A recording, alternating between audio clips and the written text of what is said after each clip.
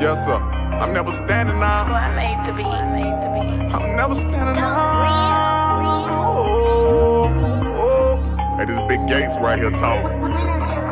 Watch your mouth, no dissing me.